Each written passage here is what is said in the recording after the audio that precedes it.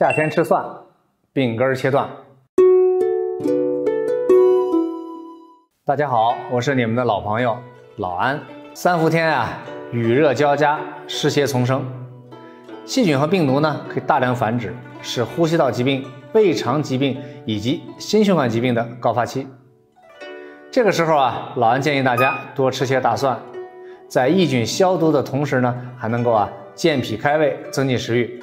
缓解夏天呢烦躁的心情，稳定三高。但是啊，大蒜有一定的刺激性，不适合呢患有眼疾和肝病的朋友们吃。我们可以啊将大蒜做成蒜泥，这样呢既有助于人体的吸收，还能减少呢大蒜的刺激。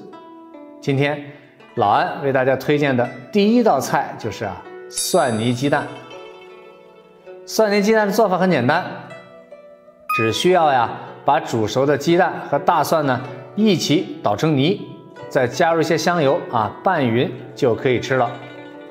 蒜泥啊可以去除鸡蛋的腥味儿，而鸡蛋呢又可以中和大蒜的辣味儿，二者结合呢，既能增进食欲，预防流感和肠道疾病，还能够啊健脑益智，促进睡眠。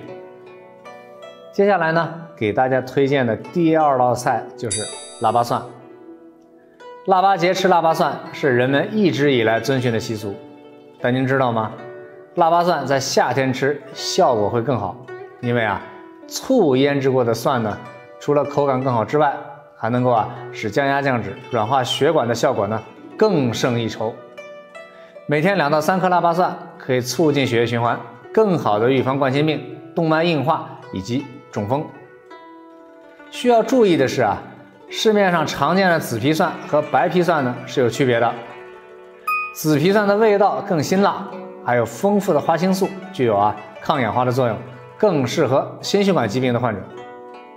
白皮蒜呢口感没有那么辛辣刺激，而且呢还有丰富的硒元素，可以降低胰岛素抵抗，更适合糖尿病患者食用。如果您觉得今天的内容对您有帮助，建议您啊分享。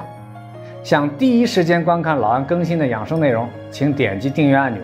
同时呢，请点一下右边的小铃铛，这就是您对老安最大的支持。科学养生，关注老安，明天同一时间我们再见。